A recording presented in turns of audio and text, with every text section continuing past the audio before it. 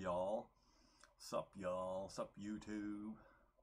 Sup YouTube. Uh, oh, uh, in my last video about noise reduction in Raw Therapee, I forgot to mention something, which is, uh, I showed a noise reduction and I forgot to mention, you know, I, I showed the median filter here and I forgot to mention that after you enable the median filter, if you're going to use the median filter, after you enable it, you should uh, probably want to turn on this micro contrast up here. And that will uh, help to mitigate the smoothing effects of the median filter and bring back the appearance of some detail there, right? So anyway, let's have a look at how that works. Uh, but first, uh, I'm thinking about deleting my old, I have like an overview video of Raw Therapee that you could watch now, but you might not be able to watch it for long because I want to delete it and uh, probably replace it with a new one. Maybe uh, that would be too long though, so I'm thinking about breaking it up into parts where I could cover, say, like the basic tab here in one section, and then the details tab here in another section, and then the color tab here in another section, etc. Right? But uh, now I'm, you know, I'm not an expert at the. I don't know how this stuff all works under the hood, but I just want to do it for demonstration purposes, so that people downloading and installing this for the first time can just have a look at it in action. Because when I first got it, I didn't really know what to do. Uh, starting off, it took me a while to, you know, figure out what I was wanting to, to do in this. So anyway, if you would like to see that, uh, my motivation to make videos is limited. I have like no subscribers or anything like that, and I don't know how many people watch it. So if you'd like to see that, just leave a comment, or if you want to like the video or subscribe or any of those types of things, it will uh, enhance my motivation to do it or to do it quicker. Somewhat, anyway. You know, I might still not be doing it that quickly, but that's what I want to do. So, let's have a look at this. Now, before I get started, this is a picture. I'll turn on the info here so you can see it's Pentax Q7. So this is a, and it's ISO 100, but that is, you know, a small sensor, so it's a pretty noisy picture even at the base ISO. And I think the base ISO of this might be 80. But anyway, this is 100 and there's there's quite a bit of noise. So I thought I'd pick a noisier picture for demonstrating noise reduction here, right? Uh, so I just wanted to put that disclaimer out there. And I've got the cool Pentax, I think it's 15 to 45 f2.8 lens. It's kind of equivalent to a 70 to 200 f2.8 in its field of view anyway. And it's great fun, but you're not going to have your mind blown by the picture quality from these little Pentax Q cameras, right? Like, I mean, they're they're great fun, but they're competitive with the better phones. I think it's better than a good phone, but uh, they're in that kind of category, right? Now for this picture, I've already done most of my adjustments, so I'm just going to be showing you the sharpening and noise reduction with that median filter micro contrast.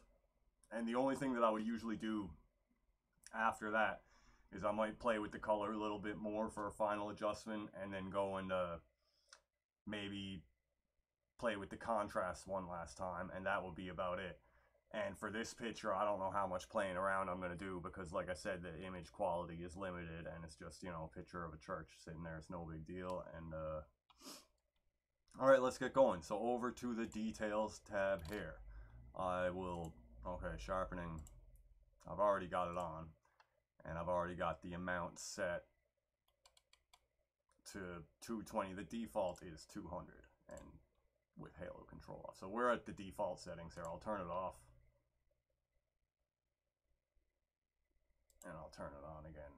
And you can see the effect is pretty subtle there at the default settings. I'm going to turn that up to 220 where I had it.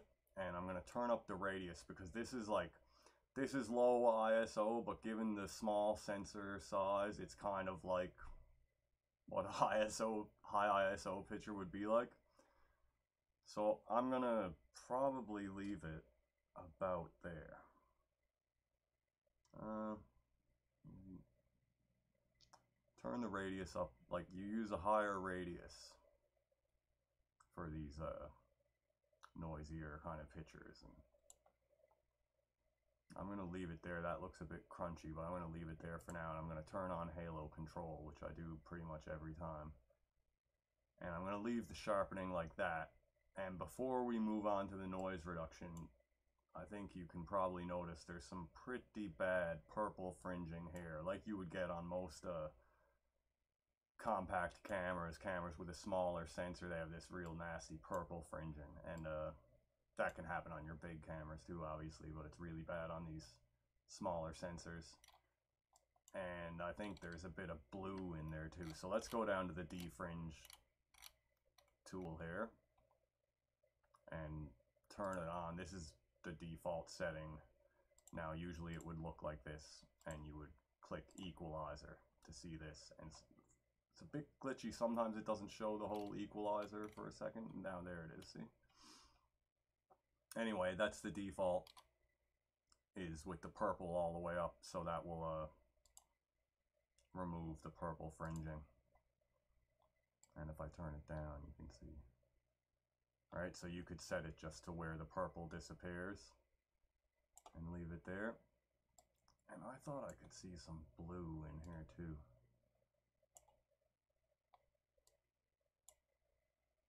There's a bit of subtle blue. There you go, blue fringing. Let's turn the blue up a little bit. And that's gone. And purple and blue. Okay, it's looking pretty good you can play with this, uh,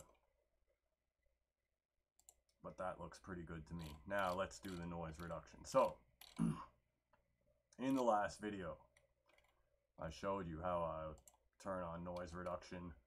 Oops, before I, I'll turn it off and I'll zoom in to 100%. And you can see there's quite a lot of noise. Noise here in the dark parts, noise in the light parts, noise everywhere, right? Oh, and also I forgot to mention the, before we do that, turn on the sharpening contrast mask. Make sure the sky is like basically fully dark. And the parts you want sharpened should be light.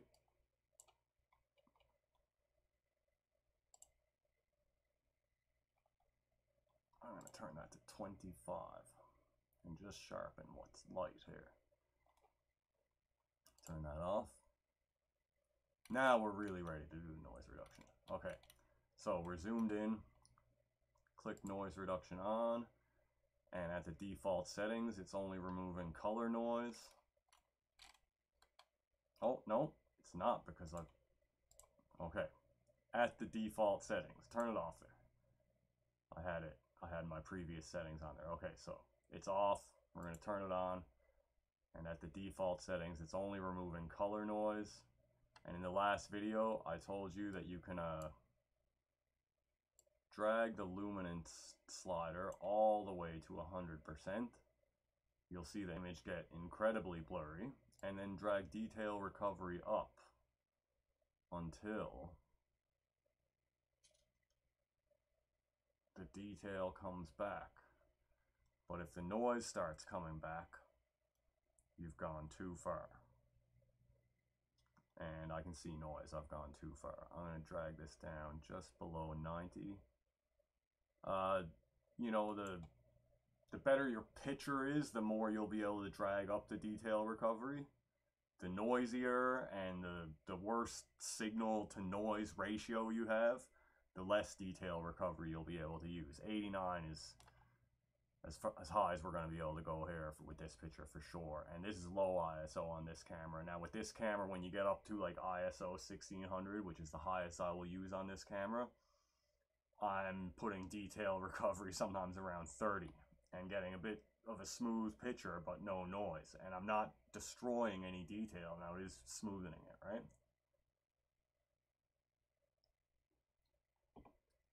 So anyway, that's what I find works, works best here. Set luminance noise reduction to 100%, drag detail recovery up until you see the details come back, and if you see the noise come back, you've gone too far.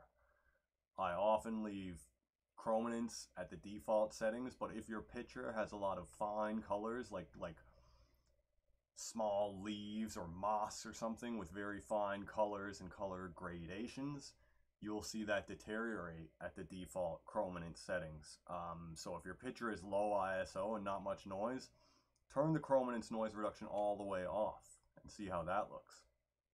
But if you need chrominance noise reduction, but you need to mitigate the deleterious effect of it on your color, use this curve. Pull down the, this is reducing the amount of chrominance noise reduction in the colorful parts while keeping it high up in the less colorful parts. And you can reduce that too, right? And with a picture that has a lot of fine colors in it, I'll often bring this down and bring this down, you know, and even bring this down. But I'm going to leave it pretty much where it was there for this picture. This is a noisy picture and leave it at the default settings there. But if you find that, you know, sometimes I turn this on on a, a, a good picture with a lot of fine colors in it and the chrominance noise reduction smears them and I have to use the curve to make sure it's not doing that. Okay, so now having done that, and we're gonna turn on the median filter, but before we do, let's also like, okay, we can see there's, the noise is basically gone. There's some pretty bad stuff going on here, but I'm not gonna deal with that now in this video. I'm not gonna deal with it at all, actually. okay, so there's a bit of noise reduction artifacts and noise still going on there. Let's see if it looks any better at one of these other demosaicing settings. LMM, LMMSE. That looks a bit smoother, or maybe IGV.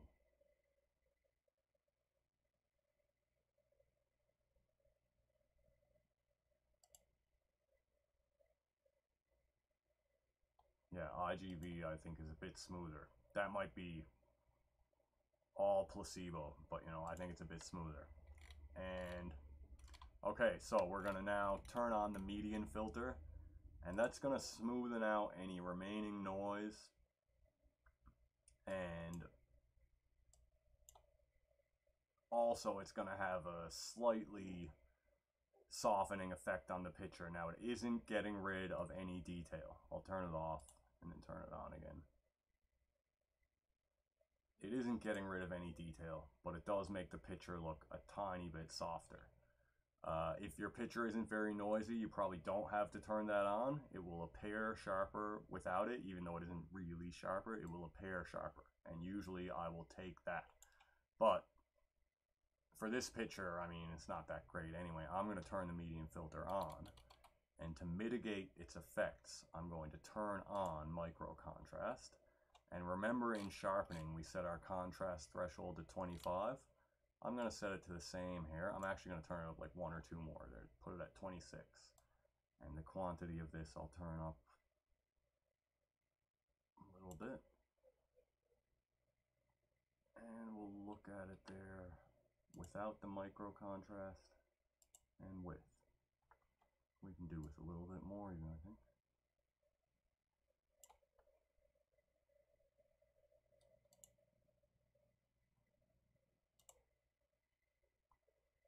Yeah, it is helping mitigate the softening. Now let's go back to before our median filter. And after median filter and micro contrast. See, the effect of median filter hasn't really been that bad, but it does get to smooth out any remaining noise and artifacts in this picture, which isn't that great anyway. And so uh, let's let's go all the way back to uh, before we did any of this.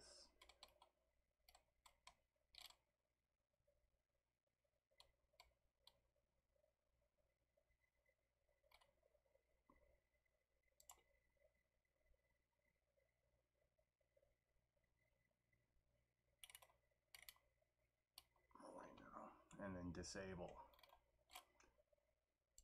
sharpening micro contrast noise reduction. There we go. I had too many steps to go back all the way. Disable them. And then see.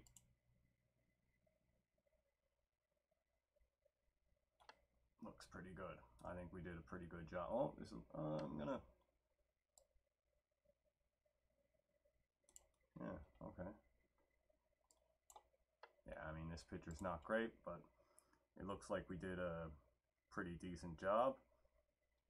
And uh, so that's it for this video, and uh, I'll be back soon. I'm gonna do another video soon, one last noise reduction video about the uh, oh, the wavelet denoise. So I'll be back with that next time. And the last step we have to do here with this picture is just uh, rotate it. All right. Peace.